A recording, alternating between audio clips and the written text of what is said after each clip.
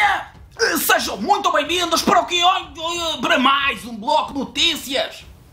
Aqui no canal, meus amiguinhos, eu vou abrir este bloco de notícias com a Splitgate. Splitgate.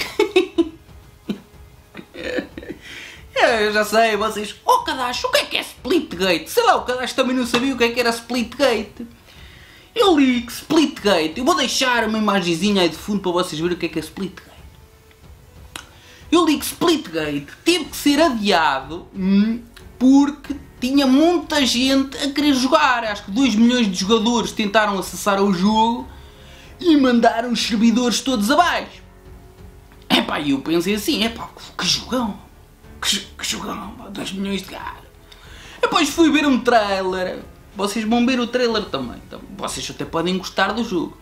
Mas aquilo é mais um Battle Royale, tira-tiro, mata-mata, esfola-esfola. E com portais. Pronto, basicamente é isto. Epá, não sei, quando eu vi aquilo, 2 milhões e mandaram tudo abaixo, eu esperava.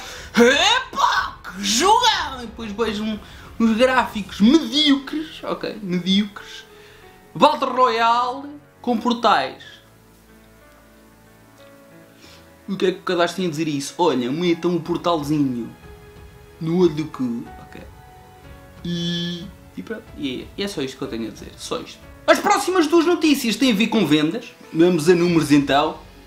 A PlayStation 5 já fez saber que vendeu 10 milhões de unidades em apenas 7 meses.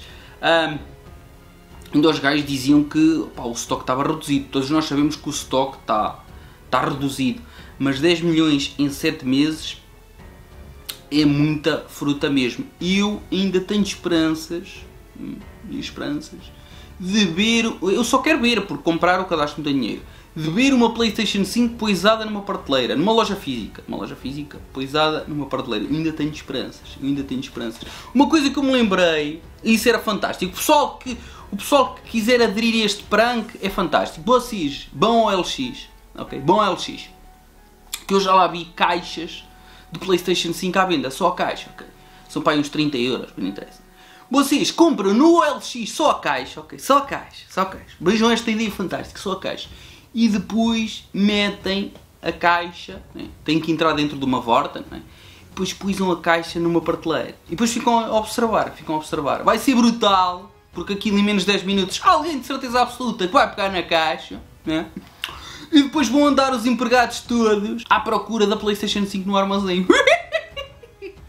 Era fantástico. Ah, outra notícia que eu ia dizer, então vai para Death Stranding. Death Stranding já vendeu então também 5 milhões de cópias e agora vai ser então o Director's Cut que eu acredito que vá ajudar então a alavancar estas vendas. Isto já dá obviamente para o Kojima, se quiser se embedar com 5 milhões, 5 milhões já dá para muita cerveja e muita vinhaça. O gajo pagou aos empregados e o resto é para se entornar em binho completamente.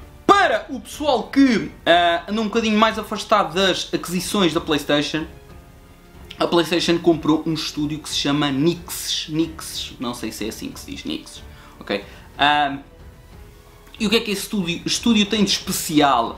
Esse estúdio é conhecido então por fazer um, conversões de jogos de consolas uh, para PC. Eles já vieram então a público uh, dar a notícia que efetivamente essa aquisição um, é mesmo para converter jogos uh, das consolas para o PC. Por isso, pessoal, estejam preparados porque um, acredito que uh, muitos exclusivos uh, da Sony de consolas vão também passar para PC. O que é que o cadastro tem a dizer em relação a isto?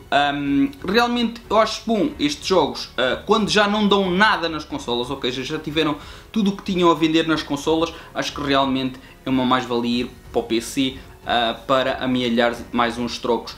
Um desses casos é Uncharted, por exemplo, o 4. Um, Houve alguns rumores que Uncharted 4 iria para passar para o PC, que eu acho uma estupidez, porque nenhum dos primeiros três, eu acho que aquilo é continuação de história, nenhum dos primeiros três está no PC, então ir o 4 acho que era um bocado estúpido, ao menos que começasse a ir do primeiro. Lá está, ah, acho que Uncharted 4 quem, quem queria comprar já comprou, quem quisesse passar já, já passou, e, e esses jogos que realmente já não estão a dar nenhum lucro um, na consola, acho que realmente para PC. Agora, no lançamento, acho que realmente é, é um tiro no pé. É um tiro no pé porque obviamente que isso um, vai deixar de vender imensas consolas, porque como vocês sabem, um, o forte da Sony realmente é os seus exclusivos. Vamos falar de adiamentos, o Carlos já, já não falava há muito tempo de coisas que foram adiadas, que normalmente nesta pandemia muita coisa é adiada mesmo.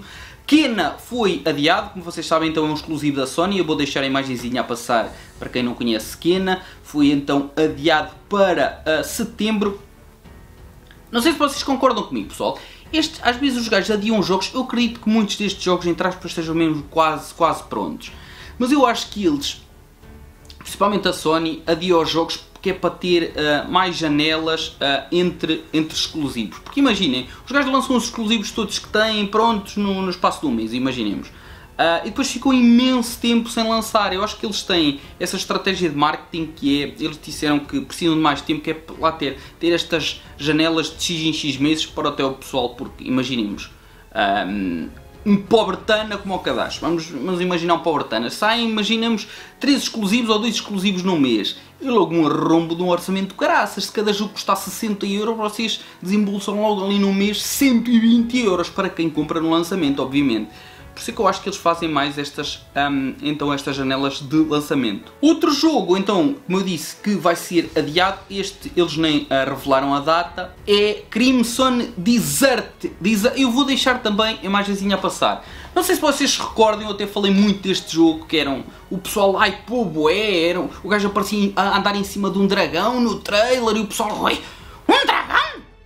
Que Kadashi achou uma bosta uma bosta autêntica, achei mesmo uma, um bosteiro sem precedentes, não sei porque é que o pessoal hypou é aquele jogo. O pessoal hypou tanto que nunca mais ninguém falou naquela porcaria, não vi mais nenhuma notícia acerca deste jogo. Para verem o hype, então, oi, é um dragão!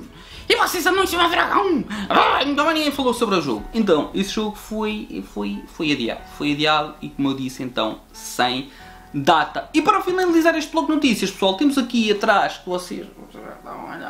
Temos Final Fantasy. Não sei se vocês se recordam, com certeza devem se recordar, o Kadash disse que... A Netflix vai lançar então um live action de Pokémon. E, e a Netflix também já fez saber que vai fazer, vai fazer então Como é que eu ia dizer isto sem me enervar? Sem me enervar muito. Uh, vai fazer também um live action de, de Final Fantasy. De Final Fantasy. Editor! Põe a música triste a rolar, se faz favor.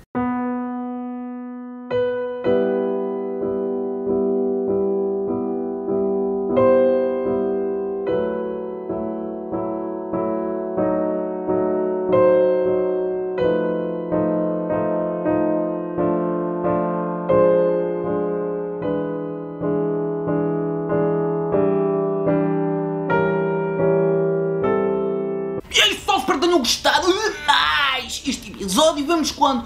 Oh, cadastro se calhar agora, só depois no ano 2037. Não, é, é quando? Amanhã. Amanhã está aqui o cadastro outra vez. Portem-se, pois já sabem. E não façam as negras.